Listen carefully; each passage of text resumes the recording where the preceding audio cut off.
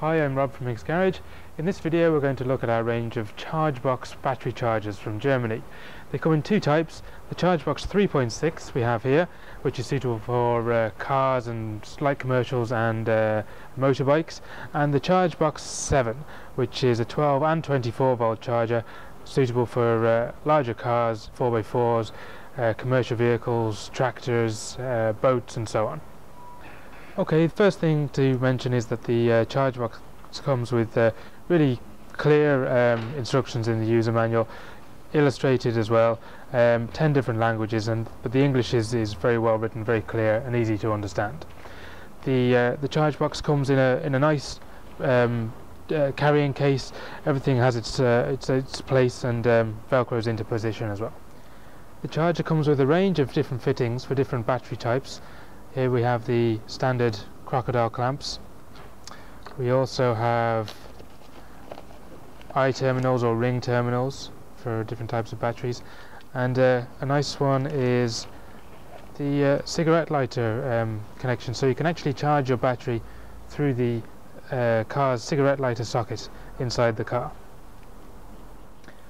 The type of the charging method we'll show you is the, the, the crocodile clips, which is probably what most people use. So first you connect the, the, the crocodile clamps to the battery charger. It locks into place. And then you connect the clamps to the battery.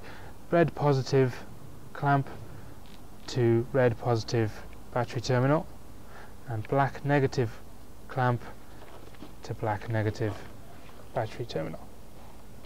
Then you can plug in the charger.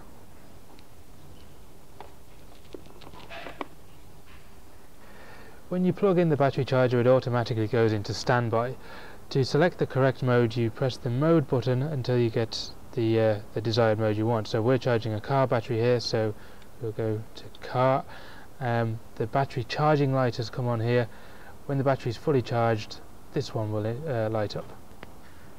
The charger has a number of safety features such as overheat protection and it also has um, short circuit protection. If there is a reverse polarity, uh, for example if you connect the, uh, the clamps the wrong way around, the uh, charger automatically goes into standby mode and gives you a warning signal here. The charger is also capable of uh, standard charging and trickle charging. When the battery is fully charged, the battery goes into, or the charger goes into maintenance mode whereby um, it will keep topping up the battery if it's required.